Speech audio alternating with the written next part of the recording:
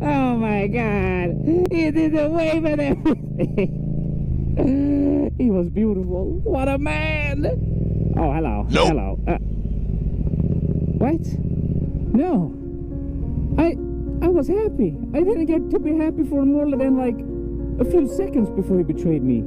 Oh, he, oh, he just took all that happiness away. Why?